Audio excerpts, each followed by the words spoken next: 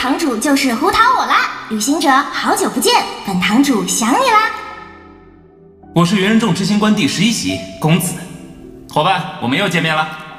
哟，好久不见，旅行者！前段时间承蒙关照，有空一起吃火锅呀，我请客。旅行者们，好久不见！欢迎大家来到《原神》二点二版本的特别节目。同时，我们这一次呢，也邀请了三位新嘉宾来到我们的节目现场，他们分别是胡桃的配音演员陶典，耶！公子的配音演员于栋，耶！和托马的 托马的配音演员张佩，欢迎大家！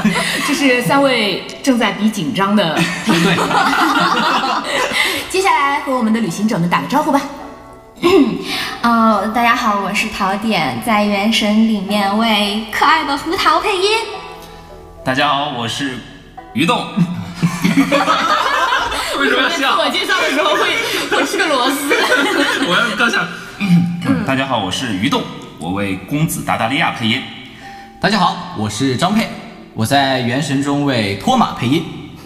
再次欢迎各位。嗯，那么本次节目当中呢，我们会为大家带来有关2.2版本的最新情报。2.2版本将在十月十三日与大家见面。接下来就让我们一起来看看2.2版本 PV《雾海玄迷境》吧。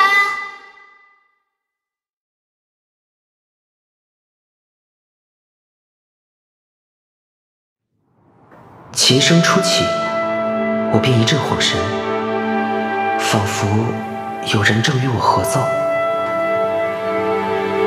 来，试试吧，它就交给你了。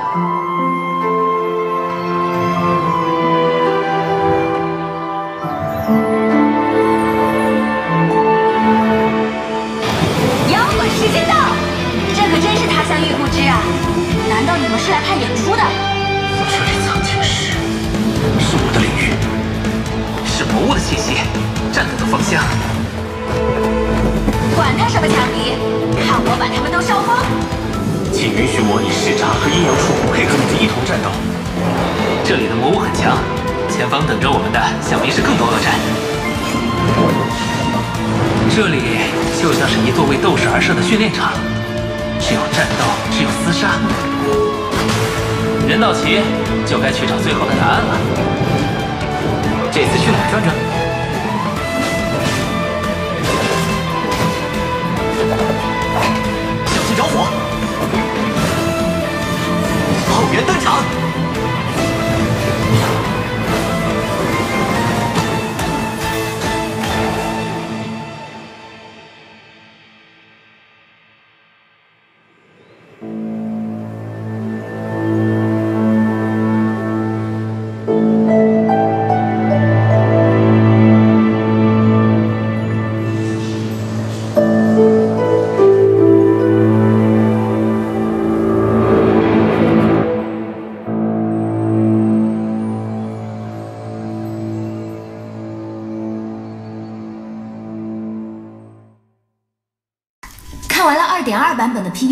必大家都发现了不少新东西吧？别急，在接下来的节目中，我们将为大家带来新版本内容的详细介绍。在此之前呢，先给大家带来第一组兑换码福利。之后呢，我们将为大家带来二点二版本全新四星角色托马的情报，大家不要走开哦。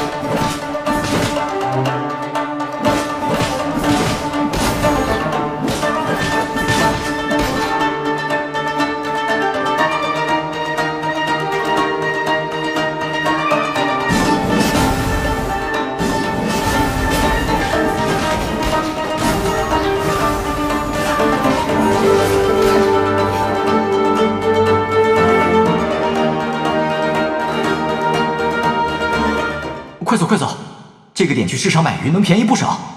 要是心血来潮想买什么小玩意儿，我帮你砍价。托马他终于来了，他来了！没错啊，旅行者的好兄弟托马现在也能和大家一起冒险了。那说起来呢，通过之前的接触，托马的印象如何呀？超级好，是吗？我的好兄弟。帅气。从之前 从之前的故事当中呢，能够感觉到托马是一个办事非常靠谱的小伙伴。对对对，嗯因为他就是我刚到那个到期的时候，他就一直在接受托马的帮助，就是他呃帮你度过很多难关呀、所以我觉得他是特别成熟可靠的一个人，而且也很亲啊，这个人听不要记下。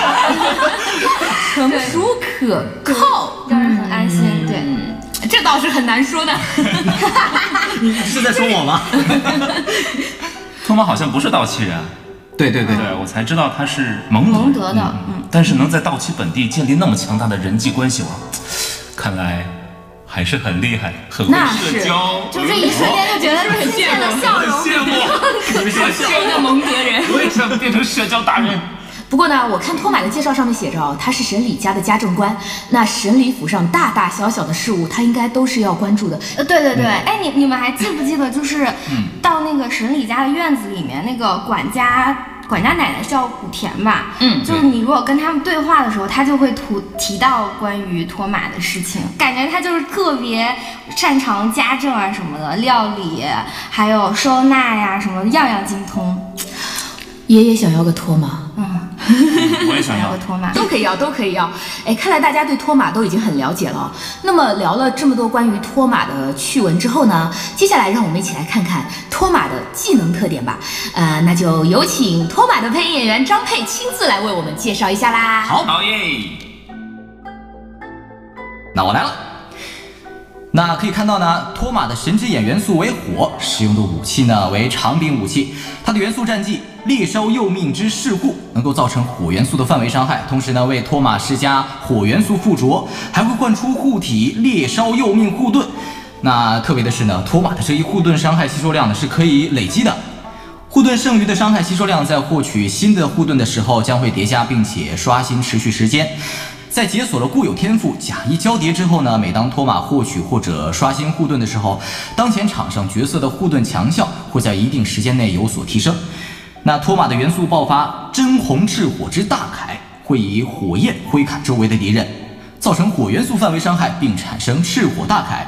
处于赤火大铠效果下的当前场上角色进行普通攻击的时候呢，将会触发赤火崩破的效果，造成火元素范围伤害，并换出护体的烈烧佑命护盾。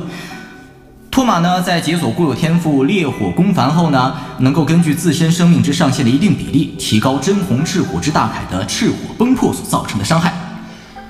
也就是说，托马既可以给队伍成员提供护盾，释放元素爆发后，还能在后台给队伍成员提供额外的火元素攻击。对，哇，果然是托马。嗯，既是大家可靠的护盾，又很乐于助人哦。哎，这么看来，托马是一个攻守兼备的角色啊。没错了，而且托马释放元素爆发之后呢，由于他的固有天赋假一交叠，角色的普通攻击能够进一步强化护盾的效果。这种以攻为守的技能设计哦，还是比较特别的。嗯，对。那同时呢，托马还有一个非常特别的天赋啊，能够让旅行者在到期成功钓鱼的时候呢，有一定概率获得双倍产出。哎，这个好哎，就是可以拿钓到的鱼去换好东西了。嗯，啊，那热爱钓鱼的旅行者呢，别忘上带上托马啦。那我们究竟什么时候才能把托马领回家呢？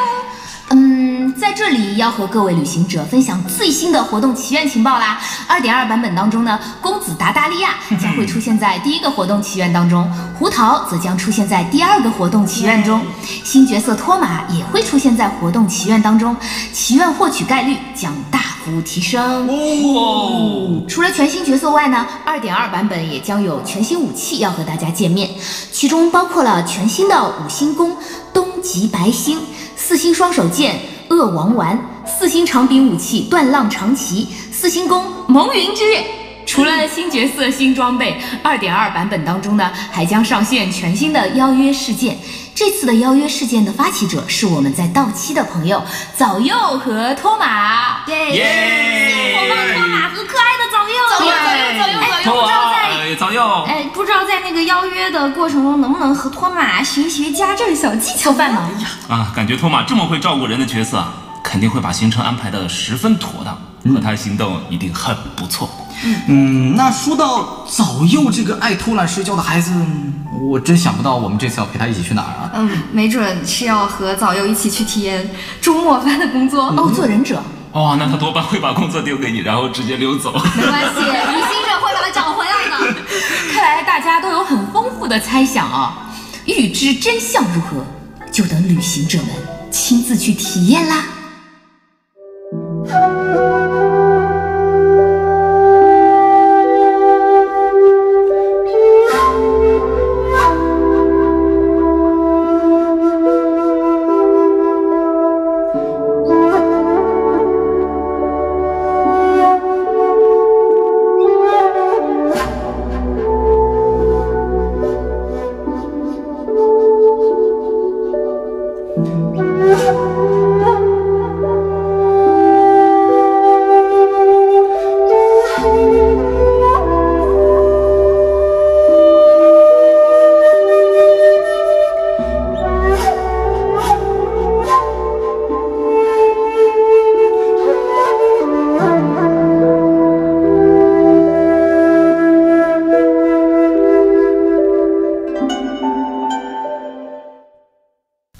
版本中还将更新一个全新的岛屿鹤关，耶，新地图，嗯新的宝箱可以开啦！耶！哎，这座岛好像看起来看起来什么？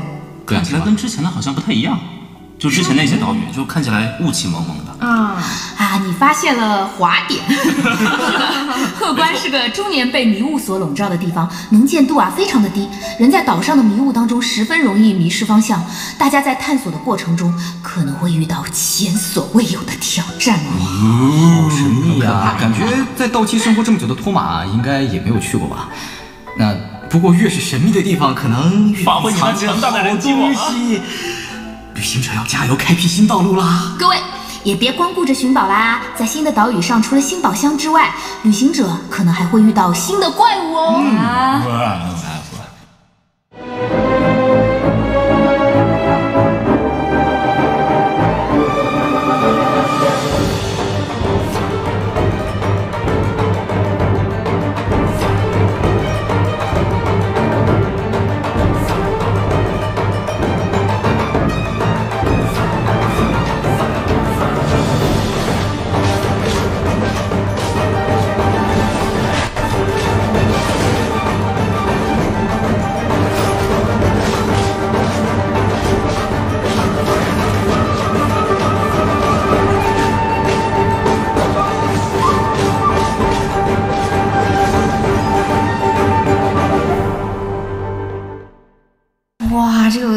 看起来比以前更加凶狠了。对啊，这爪子看起来打人就很疼。这次的新怪物分别叫做兽镜猎犬和兽镜幼兽。传说当中，这种怪物呢是能够侵蚀世界边界的魔血之兽，是来自深渊的神秘魔物。新怪物呢，一共可以分为以下四类：誓言兽镜幼兽、誓言兽镜猎犬、噬雷兽镜幼兽、噬雷兽镜猎犬。这类怪物的特点呢，主要包括能够用爪子向前发动带有元素伤害的穿刺攻击，在战斗过程中呢，能够隐身并移动到其他位置进行攻击。哎，感觉他们的这个移动方式非常的诡异，感觉好危险的感觉。哦，对，那个兽镜幼兽和兽镜猎犬还有个非常特殊的攻击机制，一旦他们攻击命中场上角色，则该角色及队伍中的其他角色都会持续承受侵蚀效果。哇，好可怕呀！侵蚀效果会导致队伍中的所有角色持续损失生命值，就连带护盾的角色也无法幸免。哇，那听上去很厉害这个敌人很厉害害啊，对吧？嗯。听名字都很厉害啊。但我们相信呢，聪明能干的旅行者呢，一定会有应对的方法的。嘿，那是肯定可以的。好，一口气看了这么多的版本内容介绍，我们先稍微休息一下，为各位旅行者带来本次节目的第二组兑换码。哦，兑换码之后呢，有更多精彩内容，千万不要错过哦。不要错过哦。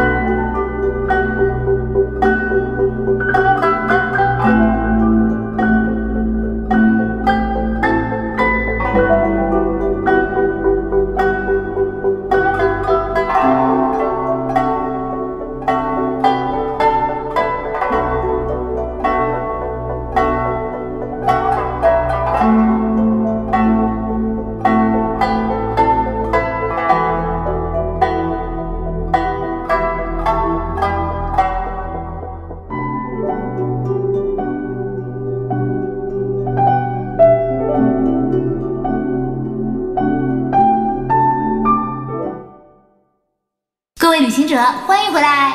接下来就让我们一起来看看二点二版本的活动吧。首先要为大家介绍的第一个活动是迷境玄冰。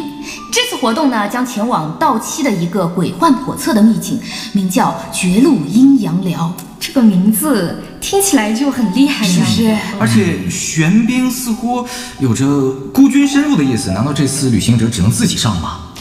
哎，说起来，我在嗯，就是刚才看那个 PV 里面，好像有一个特别可爱的那个纸片人，不会是要跟这个纸片人一起进进那个秘境？对啊，不是吧？这个可爱的纸片人呢，名叫士大将。关于他的事情哦，需要等旅行者在冒险过程当中亲自去了解啦。不过可以肯定的是，他会在深入秘境的过程当中为我们提供很多帮助。而且这次的冒险并不是旅行者孤军奋战哦，愚人众执行官第十一席公子达达利亚以及璃月的摇滚乐手星夜将在这次活动当中登场。哦，那真哦耶是意想不到的组合呀，而且还一起出现在了到期啊。嗯，那话说这已经是第三位在到期登场的愚人众执行官了吧？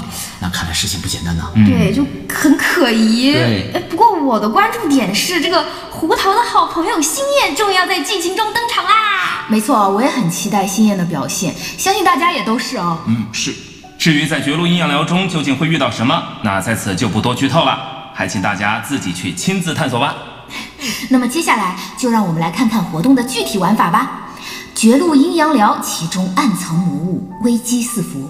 为了应对这种复杂莫测的结构，各位旅行者需要在入场前同时配置出阵队伍和后援队伍。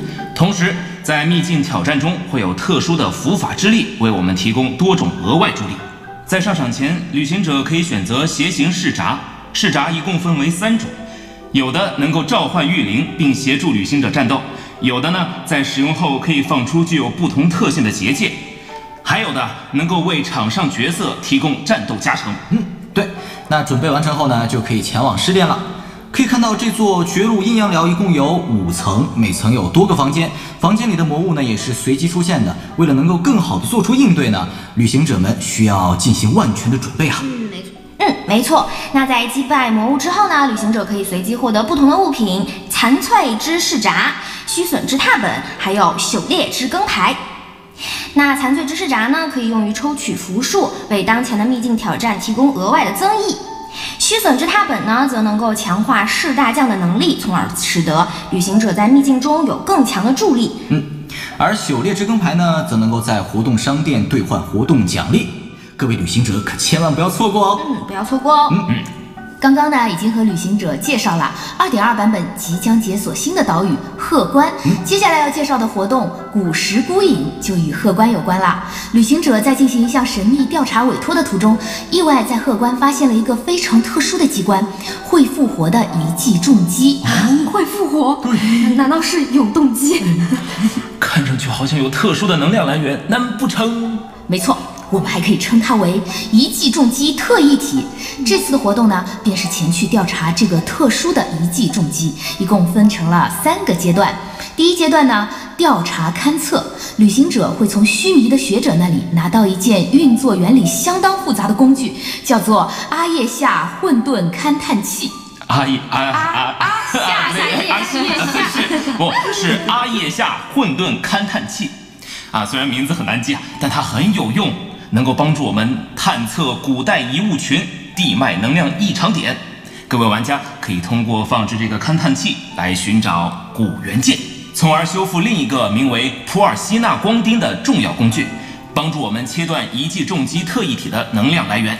没错，若勘探目标在阿叶夏混沌勘探器的侦测范围内呢，就能够直接的指示目标的位置。若目标处于勘探范围之外，它则能够指示目标位置的大致方向。需要注意的是啊，这个工具最多同时可以放置三个哦。若要同时放置了第四个的话，就会自动回收首个放置的勘探器。嗯，那旅行者需要前往分别位于蒙德、璃月、到期的勘测点去搜寻原件。哦，好专业啊，感觉要化身为提瓦特大陆的考古学家了。收集齐了原件之后呢，就能去修复前面说到的可以切断能量来源的工具了。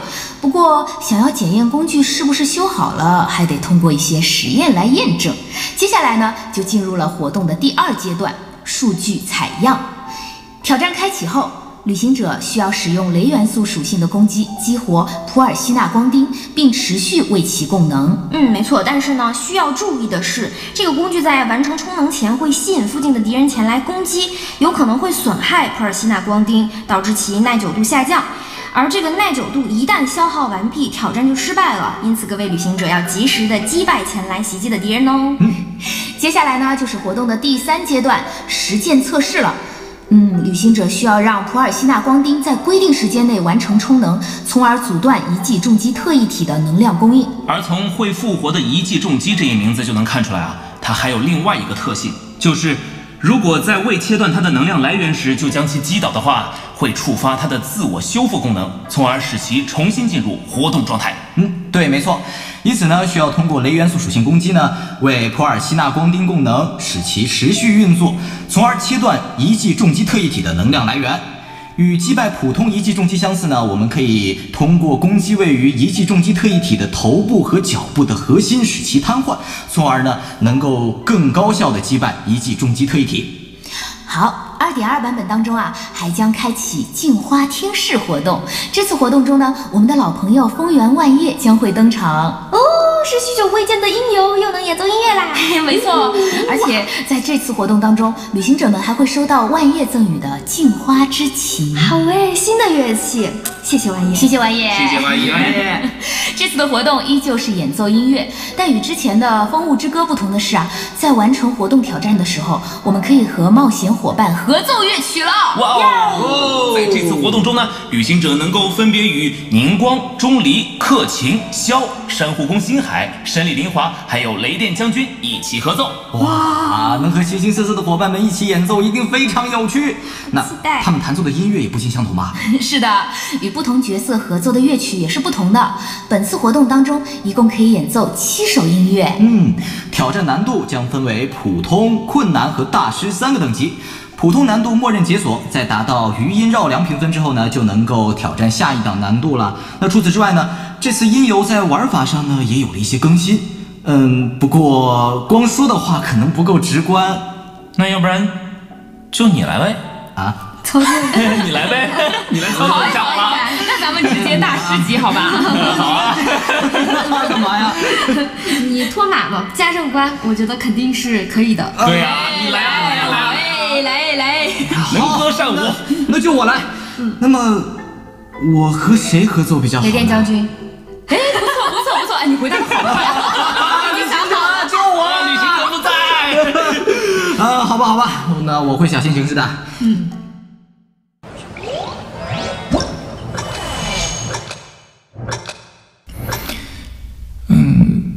然后，嗯，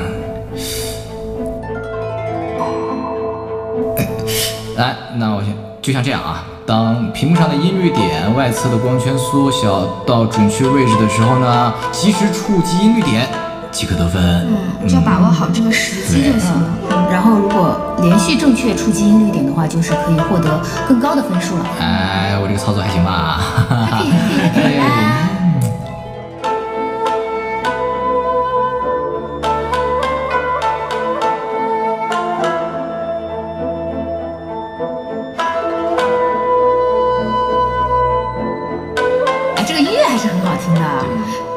感觉嗯大师难度感觉还还挺简单的嘛，小意思啊。话别说太满你看我。这，哎，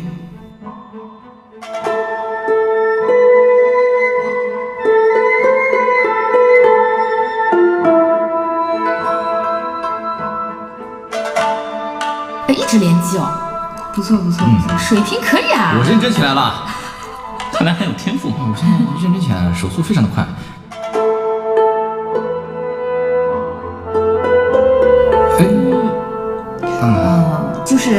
这个音律点上方落下来，然后代表长音的那个光条落下来的时候，长按音律点，直到光条下落结束，就可以得分了。嗯，对。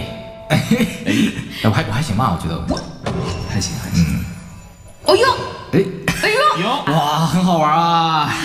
那大家到时候要和喜欢的角角色合奏啊。那么接下来呢，让我们看看下一个活动——梦里生花。这个活动由到期的花匠笑耶发起。活动期间呢，旅行者们每天可以通过提供笑耶所需的材料，来获得笑耶提供的特别的花种。那大家可以将花种播种在陈歌湖中的桂本之道拟子之田上，一段时间后呢，就可以收获漂亮的花啦。那这些花还有一个特别好听的名字，叫做梦里花。啊，好好听的名字！哎，好像不只有一种类型的花哎。没错，笑耶会给我们提供三种花种，分别是梦里花星锦、梦里花唐铃以及梦里花秀佳。呃，最特别的呢是，旅行者播下同种类型的花种，也能收获花色不同的花卉哦。哦，随机种出不同颜色的花，有种开盲盒的感觉。哇，那好想集齐所有种类和不同花色的花卉啊！但是如果自己种出来的都是同一种颜色的，该怎么办啊？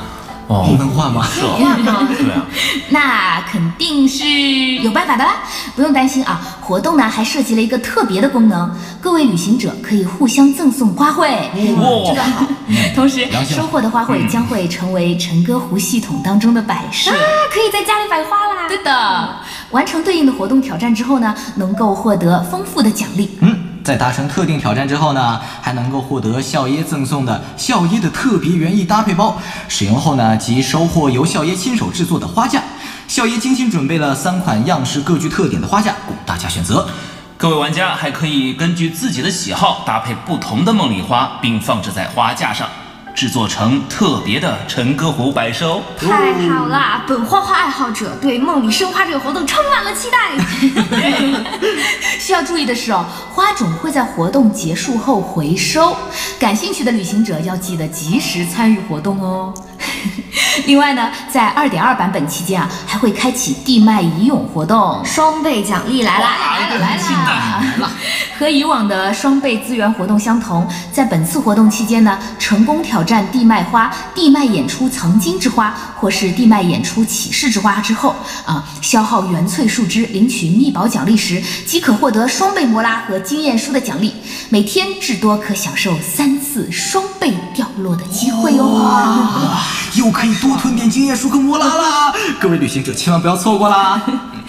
除了2.2新版本的祈愿以及活动情报之外，我们也为大家带来了陈歌湖系统的全新讯息，是我最喜欢的陈歌湖了。在2.2版本中呢，将会上线一系列全新的陈歌湖摆设，以及全新的洞天形态会启亭。哇，这个新洞天形态里的樱花树好美啊！哎，你们看那个远处的天空，就是特别梦幻的感觉。哦，对对对，啊，真的是很想快点拥有啊。那么，请问怎么样才能获得这个洞天形态呢？啊，需要的是神鹰眷顾等级达到四十级以后，那就可以解锁会启停啦。同时，二点二版本当中还会有新的摆设图纸和套装图纸。哎，那这些就是新的图纸要怎么才能拿得到呢？说到这里啦，还有一个新情报要和各位旅行者分享啦。